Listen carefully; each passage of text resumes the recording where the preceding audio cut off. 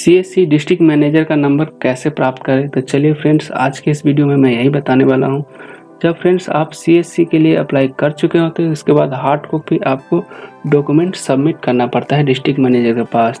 तो फ्रेंड्स इसके लिए आपको डिस्ट्रिक्ट मैनेजर के नंबर मैं बताऊँगा, वहाँ से आप लेकर डिस्ट्रिक्ट मैनेजर को कॉल करके आप वहाँ से पूछ सकते हैं कि मैं फ़ाइल कब सबमिट करना है और कैसे सबमिट करना है।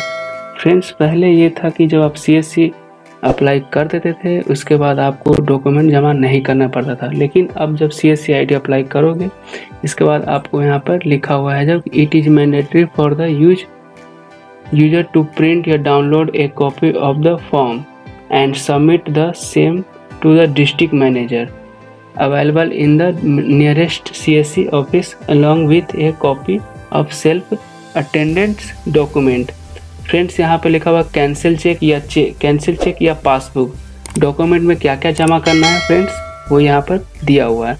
कैंसिल चेक या passbook PAN card application image friends आपको पैन कार्ड का कॉपी ले जाना है कैंसिल चेक या पासबुक ले जाना है, उसके बाद जो अप्लीकेशन ये अप्लीकेशन इसका एक आपको इमेज सबमिट करना पड़ता है डिस्ट्रिक्ट मैनेजर के पास.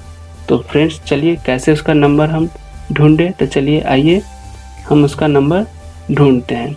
फ्रेंड्स हम अपने मोबाइल या कंप्यूटर में एक ब्राउज़र ओपन कर लेंगे। जैसे मैं चलाता हूँ गूगल क्रोम तो मैं कर लूँगा क्रोम ओपन ओपन करने के बाद फ्रेंड्स यहाँ पर हम सर्च करेंगे bank Mitra dot in bank Mitra dot C S C cloud dot in friends search करने के बाद सबसे ऊपर ही सी एस सी बैंकिंग आ रहा है इसका ऑफिशियल वेबसाइट इसे हम कर देंगे ओपन ओपन हो जाएगा तो यहाँ पर लिखा हुआ है कॉन्टेक्टर्स उसके बाद फिर यहाँ पर दो ऑप्शन दिया हुआ है डिस्ट्रिक्ट मैनेजर या F I banking officer friends आप जिसका नंबर चाहते हैं, वहाँ से नंबर आप ले सकते हैं.